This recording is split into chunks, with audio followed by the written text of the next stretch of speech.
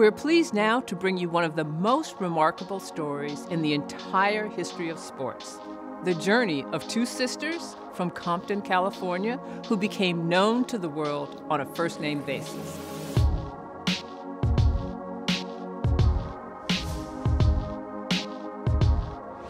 Here's a question I'm sure you've been asked more than once. What do you want to be when you grow up? Tennis player. I would like to be a tennis player.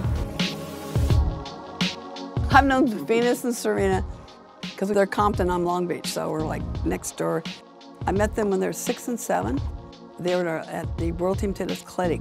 When I saw them in the line, and Oracene stood next to them in the line so she could listen if I had something to say. She was always very alert with that. You know, she and Richard both would listen to people, and um, I had a great time with both of them. Good racket speed. Good racket speed. We speed that racket head up. If you were a tennis player, who would you want to be like? Well, I like other people to be like me. I think what was revolutionary about Venus, from such a young age, her real attacking mindset and her beautiful lines and her long legs, she just used them to such great advantage. Serena competed with a kind of street fighting, unapologetic ferocity that I think women have always had.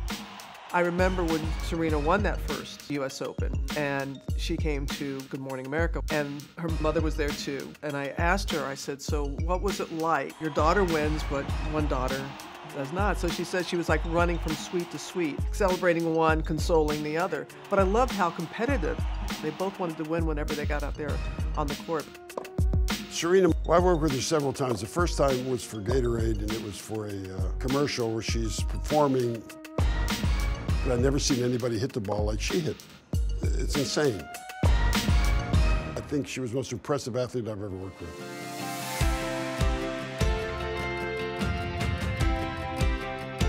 Venus and Serena are amazing athletes and they will definitely go down in history as some of the best ever. I think that they have inspired so many people in general. They are the epitome of power and grace. I think just in general, having leaders like Venus Williams, Serena Williams in our sport definitely makes you want to do better and makes you want to do better for the world. And I think having leaders like that is important because it made a difference in my life. I think the Venus and Serena story is the best in sports.